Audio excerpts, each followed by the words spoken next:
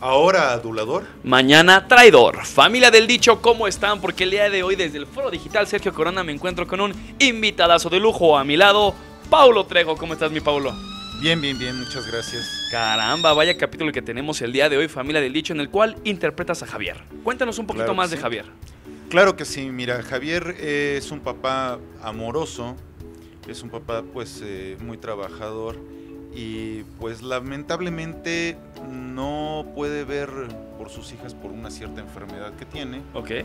Entonces, eh, lo que él más quiere o lo que más anhela, pues es que sus hijas crezcan, ¿no? Que estudien, que se desenvuelvan. Qué situación tan complicada, ¿no? Cuando como padre no puedes apoyar a tus hijos, ¿no? Y más porque el mundo es una selva, ¿no? Exacto. Está lleno de muchísimas personas peligrosas que de repente uno no conoce. Y yo te quiero preguntar si alguna vez te ha llegado a tocar vivir alguna situación parecida a la de este capítulo en tu vida.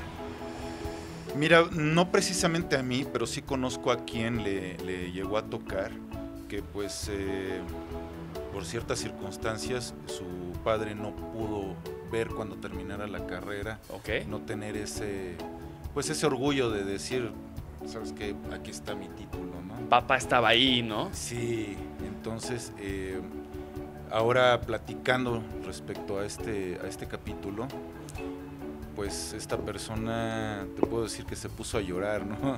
O sea, en el momento se quebró. Sí, sí, sí, le llegó, pero en lo más profundo, ¿no? Pero se sintió completamente identificada. Tú que lo viste a esa persona justamente, eh, cómo crecía, le costaba trabajo tal vez la escuela, la vida. Claro que sí, o sea, después de que su papá partió, pues sí, sí le tocó eh, luchar, salir adelante para terminar su, su educación, ¿no? Como joven, ¿qué le aconsejas a la familia del dicho, no? Que tal vez pueda vivir en alguna situación similar a la de este capítulo. Híjole, pues eh, mucha fortaleza ¿Ok?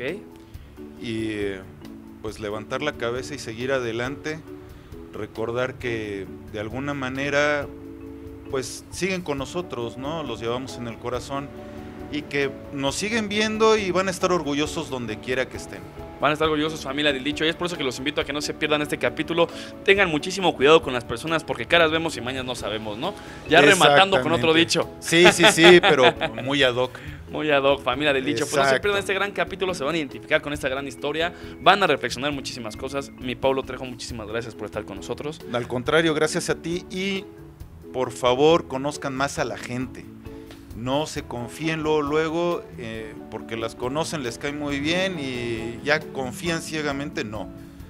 Conozcan bien a la gente. Y ya mañana los traicionarán, así que tengan muchísimo cuidado, familia del dicho, los queremos y muchísimas gracias por estar con nosotros aquí, en el café más famoso De México. Ahí nos vemos.